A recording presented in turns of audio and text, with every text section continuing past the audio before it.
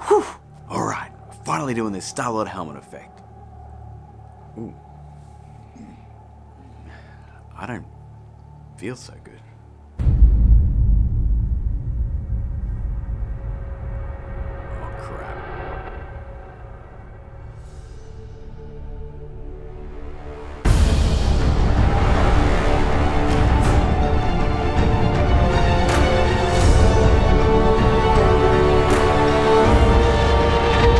Hey guys, welcome to Film Learnin, the show dedicated to learn you some filmmaking and learning good. And ever since Infinity War came out, my comment section has been a cavalcade of spoiler requests. So I thought I might take one on and avoid spoilers altogether. So here's some requests that I've heavily edited. So an absolute crapload of you have asked for an Avengers Infinity War disintegration effect. So that's what we're doing today. But there's one caveat.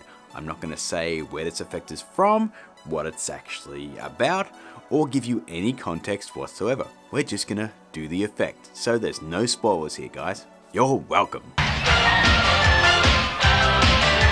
Now in order to complete this effect, you need a copy of Trapcode Particular. There's no two bits about this guys. This is one of the best particle simulation softwares out there and it's fantastic and I used it for this effect. So if you click the link in the description, you can grab a demo of that right now. You'll also need to shoot your actor on a green screen pretending to disappear, or you can just shoot them normally and rotoscope them out. I shot mine on a green screen because I'm far too lazy to rotoscope. I mean, ain't nobody got time for that. My God. Alright, enough of that. Let's get to work, shall we? Okay guys, here we are in After Effects and as you can see I have my shots set up in a comp and ready to go. I've got my footage already keyed out as you can see right here and of course my background layer is down there as well. So our first step is going to be an easy one. We're just going to duplicate our actor footage like so and then we'll just turn that bottom layer off. From there, let's right click that top actor footage, pre-compose that and call it dust and we'll make it 3D. We can then open this bad boy up and begin the fun. Firstly, let's head up to Effect, Color Correction and add ourselves a photo filter. Let's then select that to a custom color and choose ourselves a nice rich brown. There we go. We'll then crank that bad boy all the way up to 100. Next, let's head back to color correction again, only this time we'll grab a tint. Let's then set the black to a darkish grey. This is pretty good. Let's then set the amount to around 50%. That gives our character a dusty ash look. Perfect for driving our particle sim. Next up, we need to map out a mask path to show the particles where to come from. This once again is easy, but you can make this animation as complex as you like gang, it's simply mask animation. For the purposes of the tutorial, I'm going to make this animation a relatively easy one. So let's grab the pen tool and draw a rough mask down the bottom of your comp like so. It doesn't really matter what the shape looks like as long as it's off screen. We'll then hit M on the keyboard and hit the stopwatch on mask path. From there, we'll scrub forward on the comp and then move up the mask, maybe adjust the shape a bit like so, revealing part of our actor. Mm, about this amount's good. Let's keep going. We'll skip ahead again, adjust the position and the shape of the mask. I mean, guys, you can do this as many times as you like until you reach the top of your actor's head and your mask goes off screen once more. Let's then hit F and feather this one out around 50 to 75 pixels. Now if we check out a preview, you can see what we're going for. You get this kind of band wave that travels up our actor's body. But like I said, you can make this as complicated as you like guys. You could maybe start on one of the arms or whatever you like. It's totally up to you. Just go nuts. So what's next? Well, that's the hard part done. Yeah, you heard me. That was the hard part. It's particle time now. Now the particles do take some time to set up, but it's not hard.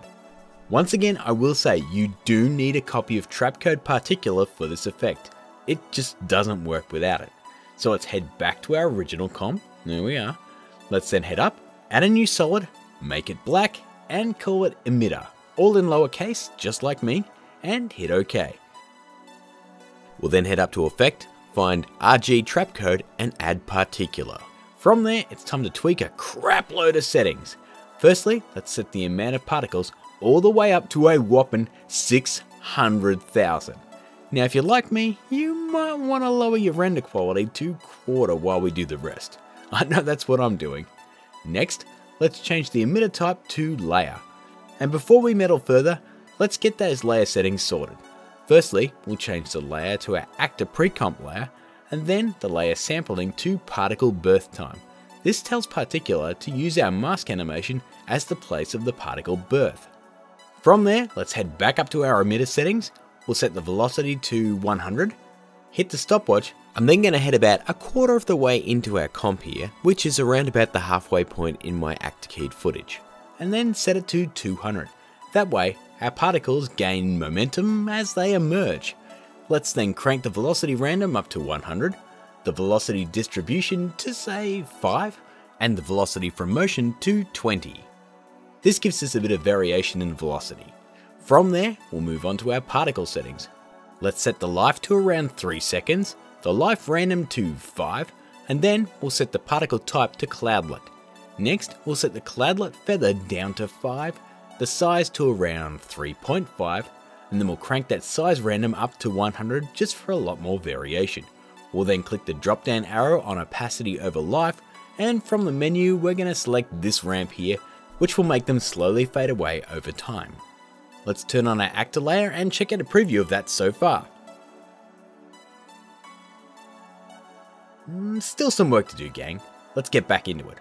Moving on down to shading here, and let's head down and turn on Shadowlet for main. We'll then tweak some settings here. I'm going to increase the opacity to 6 and adjust the distance to 125. This gives our particles a bit of depth and separation by self-shadowing. Next up, physics. I'm going to set the gravity to minus 1.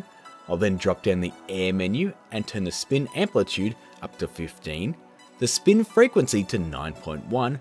I'll then set the wind Z to say minus 50, then set the wind Y to minus 75.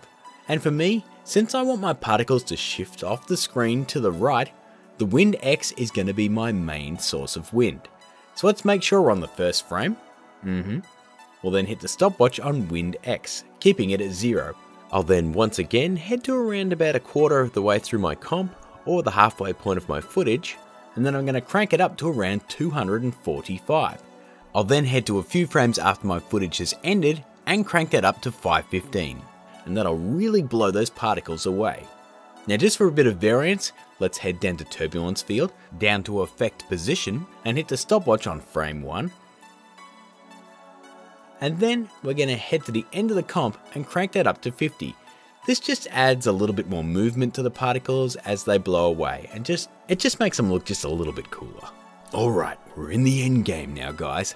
Let's head to rendering, drop that down and turn motion blur on. If we check out a preview, that's our particles done guys. Now gang, do feel free to really experiment with all the settings that I've just gone through and find out what works for your shot, because that's exactly what I did. I played around for a couple of hours, I got the settings I wanted, and I talked about them with you. Alright? Okay, we have one step to go gang, just one. Let's tackle this actor layer right down here.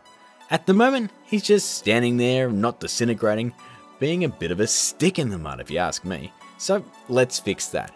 Let's head up, grab the pen tool, and draw a rough mask around the entire actor like so.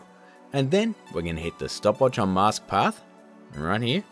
After that, we simply need to head along the timeline and adjust the bottom part of our mask to follow along with our particles.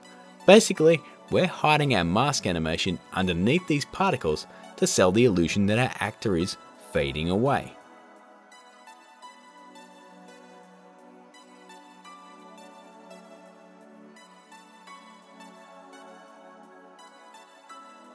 And there, all done. If we check out a preview, our actor now disintegrates away. And that, my friends, is another effect. Mm, done. Add up all those steps and you get something like this. Whew. Alright, finally doing this Star-Lord helmet effect. Ooh. I don't feel so good.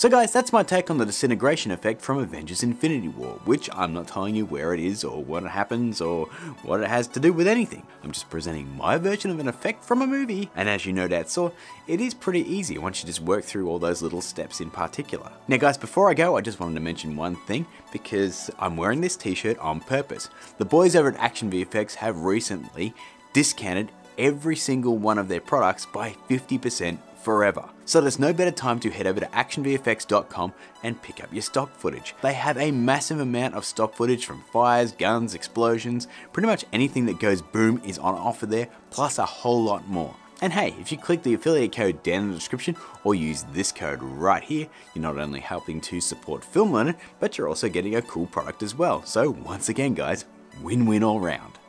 So guys, that's going to do it for this episode of Film Learnin. If you did enjoy the video, please smash that like button, I really do appreciate it. And hey, if you are new here, why not hit that subscribe button and join the other 95,000 that have also done that. And turn that notification bell on so you don't miss a single Film Learnin episode.